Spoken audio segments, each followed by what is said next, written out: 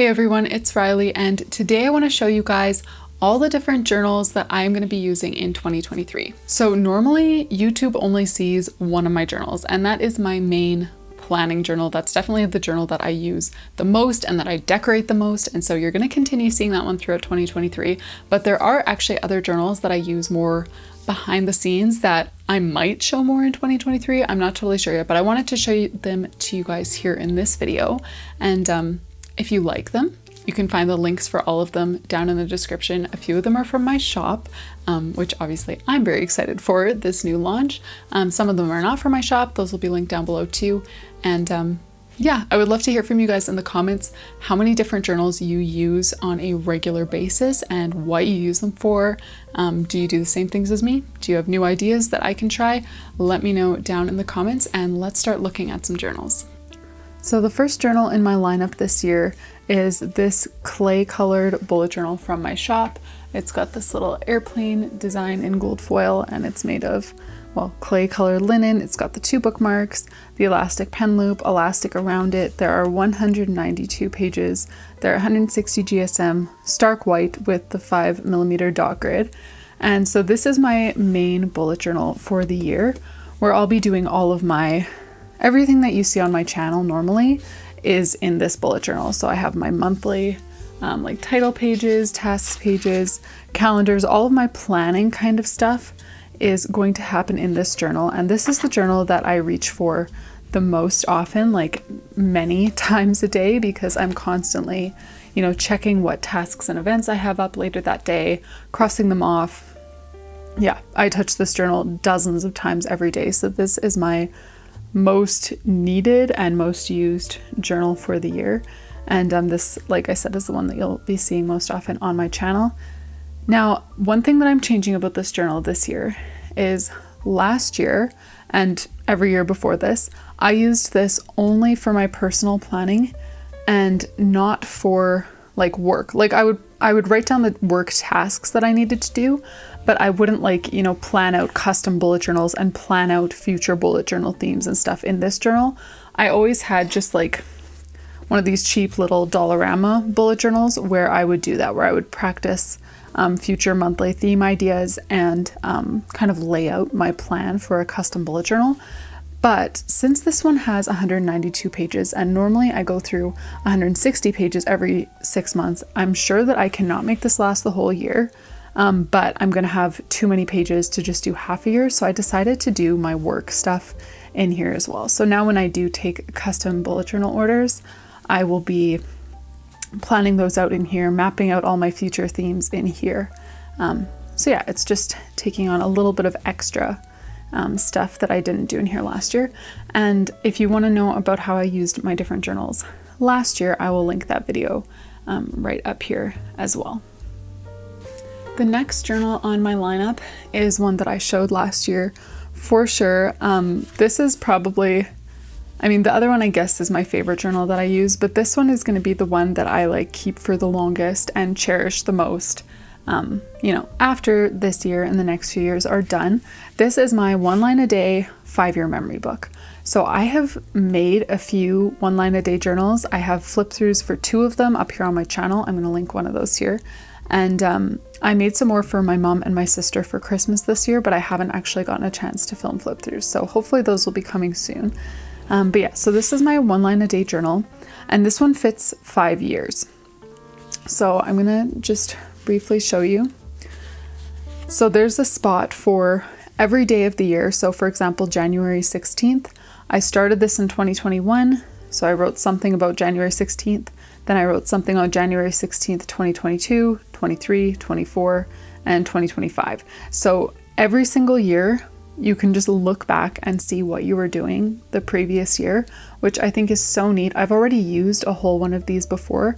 So this is my eighth year doing this kind of thing, which is crazy. But this is like my main um, memory keeping place. Now, obviously, I don't write tons because it's just one line a day. I mean, it's it's technically more than one line, um, but you don't write tons in here. But it's enough to at least kind of capture, um, yeah, just what's going on at different seasons of life. And of course, I'll have my other journals linked, the ones that I designed, but I will have a link for this one too. I just got this one off Amazon. My previous one I got from Chapters. Um, but yeah, these are really awesome. I would highly recommend either making one for yourself following the video that I just linked or purchasing one if you want a nice place to keep your memories.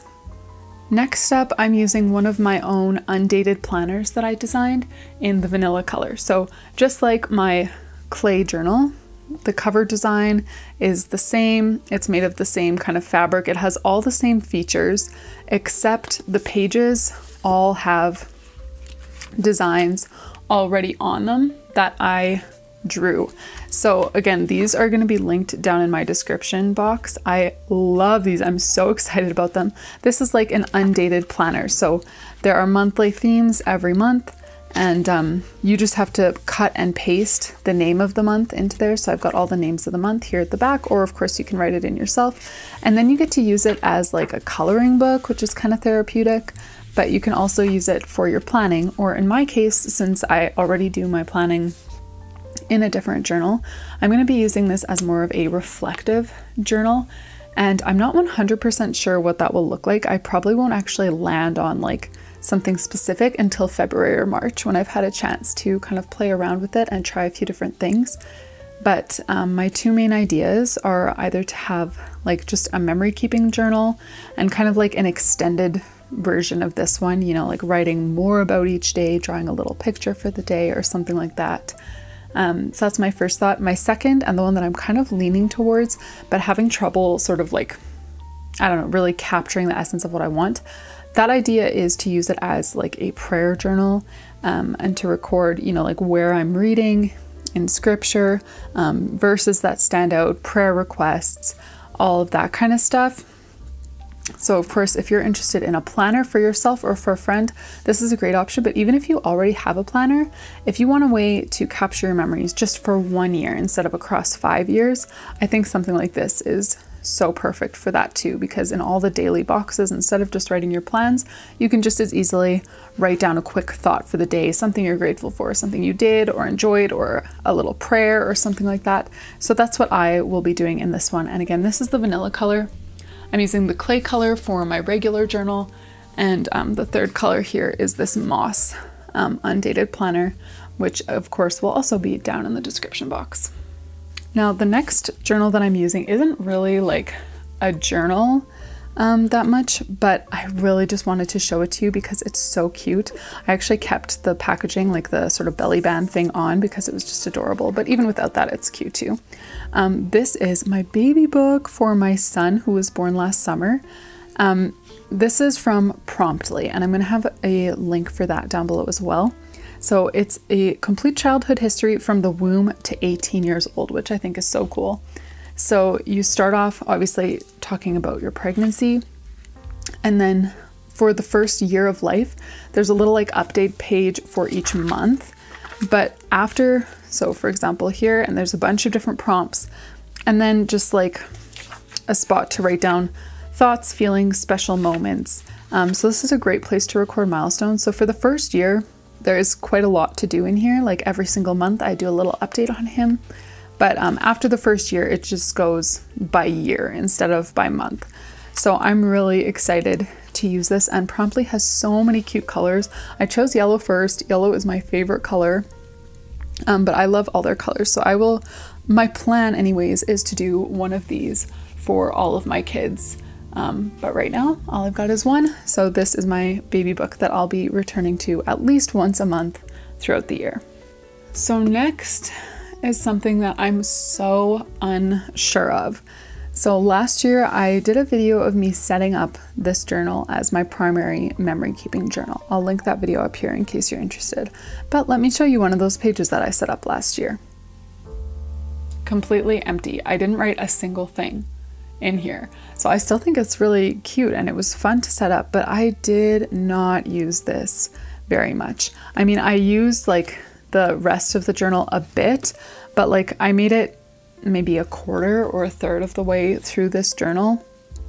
And I just realistically, I only use it about once a month, which mm, I want to be writing more. Like this was just, you know, like any day I would go in and just write an entry about that day or a prayer or like make a little spread about some kind of vacation or memory or something.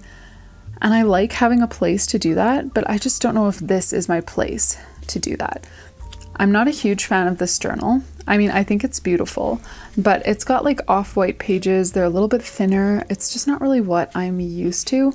And I thought that that would be fun for a journal like this because then it would kind of force me to try new things. But instead, I think it's just made me not want to use it because it's not really my style. So I definitely want a place to do stuff like this, but I don't know if this is going to be my place for 2023. The thing is, I hate wasting journals. So the fact that I used like a third of this, um, I don't just want to not use the rest because I want to keep this. You know, I want to keep all the memories that I wrote about last year, but I don't want to keep a journal that's over half empty on my already packed journal shelf. Um, but I also don't want to like rip out, you know, like 50 pages or whatever it is.